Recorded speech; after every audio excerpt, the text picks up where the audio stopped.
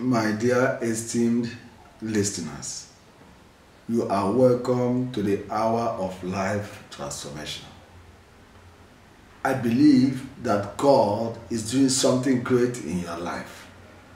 Wherever you are under the sound of this great voice, I want you to open up to the Holy Spirit. Open up, for the Lord has prepared a word for us today. Before we go ahead, shall we pray? Father, thank you for your word. Bless my dear listeners. That man that is sick, I command you to receive your healing right now. Every strong man over your life, every distraction, I destroy it right now in the name of Jesus Christ. I release you from every stronghold of the enemy. And I pray that the word of God will have an effect in our lives. Thank you, mighty God. In Jesus' name we prayed. Amen. My dear, we started sometimes by talking about the prisoners of hope. And today's message continue in that series. The prisoners of hope. And last time I told you that it's you that God is looking at. You are the person that God wants to set free. God doesn't want you to remain a prisoner. God wants to give you freedom. For the scripture says, If the Son shall set you free, you shall be free indeed.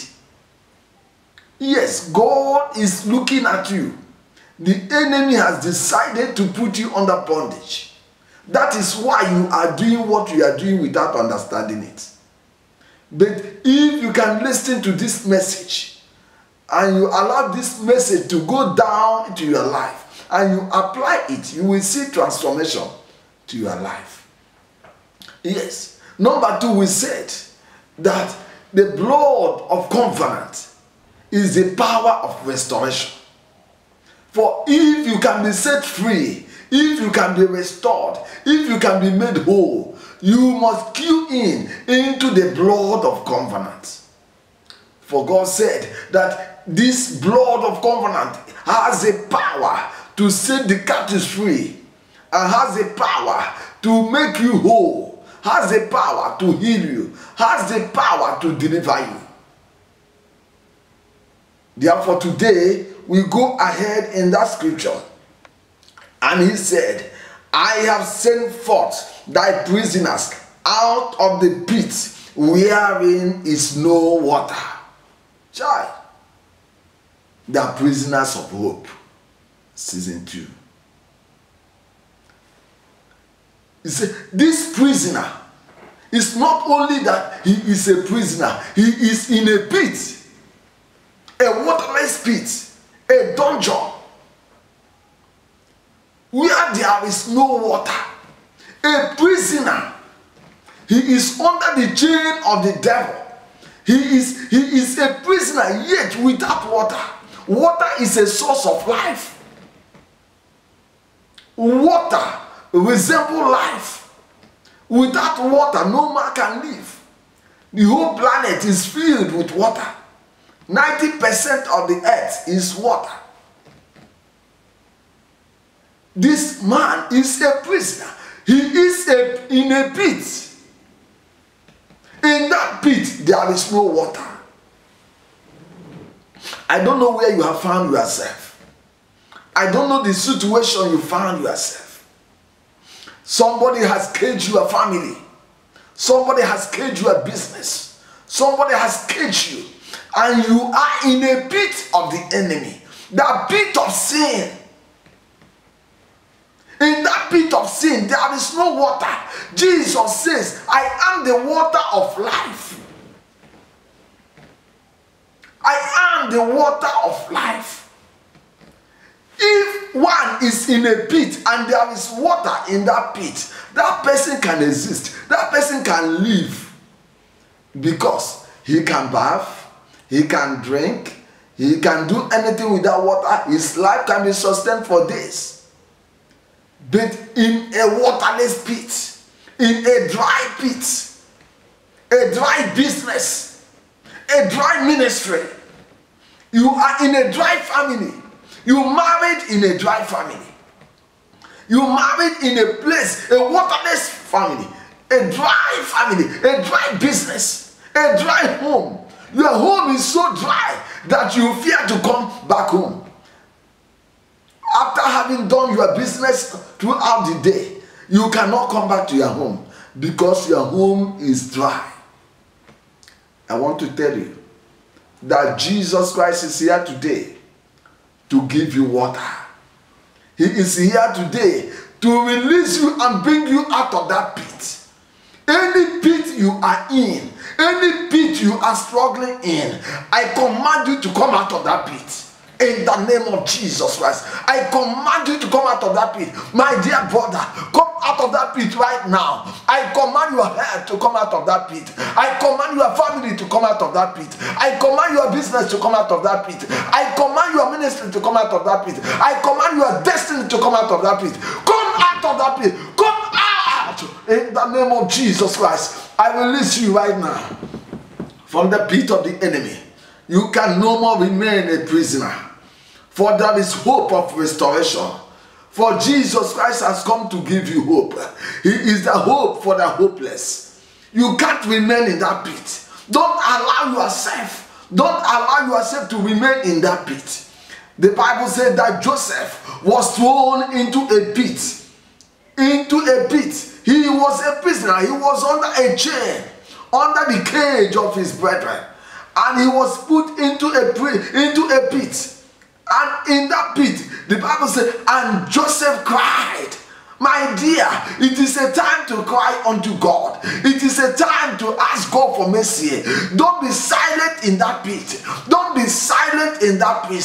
If you want hope, if you want to come out of it, you need to cry unto God. Yes. Cry. God wants to hear your voice. You have been silent for a long time. You have suffered that for a long time. But today, today, right now, at the sound of my voice, as you are listening, as you are watching, you are coming out of that pit now. I see you coming out of that pit. Enough is enough for the devil. A waterless pit is not for you. In this season, in this time, in this year, that's you can't be in that pit. You can't be in a dry pit. Glory be to God that Joseph was brought out of that pit. From that pit, he entered into a car, into a in, into an horse that take him, that took him to Egypt. My dear, your greatness is coming your way now. The Lord is visiting you right now. You will not die in that pit. You will not die in the pit of hopelessness. You will not die in that pit of fear. You will not die in that pit of regret. You will not die in that pit of shame. You will not die in that pit. For there is hope in Christ Jesus Christ. Yes, there is hope. There is hope. That hope is an internal hope. Any man that has that hope has internal life. Yes. Are you in that pit of death? You can come out of that pit right now. You can come out of that pit. Enough is enough. Enough is enough. Come out of that pit in the name of Jesus Christ. Whosoever that has thrown you into a pit, I command that pit, person to fall into that pit. Whosoever that has thrown your family into that pit, that witch, that wizard, that occult man, that occult, yes, that has thrown you into a pit of regret, where you are looking for money, where you are going for your business, and see you inside the pit. You didn't even know when you entered into the pit. You see yourself all the days of your life moving around that pit. Pit.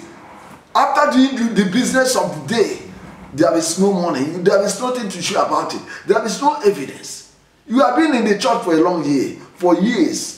but there is no evidence. You are in a pit. I want, I want to pray for you. Can you lay your hand on your head? Let me pray for you. Can you say after me, the Lord Jesus Christ? Every pit I found myself, this moment, in the name of Jesus Christ, I am coming out of it. I am coming out of it. I am coming out of it. Every pit of darkness, every pit of the enemy, every pit of sin, I am coming out of it in the name of Jesus Christ. Lord Jesus, I give you my life. I give you my soul. I give you my spirit. I will be your son. I will be your servant. I will no more remain in the pit of my enemies. Thank you, Father, for I believe you have done it. In Jesus' name we pray. Amen. I want to talk to somebody right now. You are there listening to me. Jesus Christ is coming very soon. And every man that is in the pit of sin can never make heaven. No matter how far you have gone in the church, no matter your portfolio. Yes, as you welcome Jesus Christ, you are coming out of the pit of sin.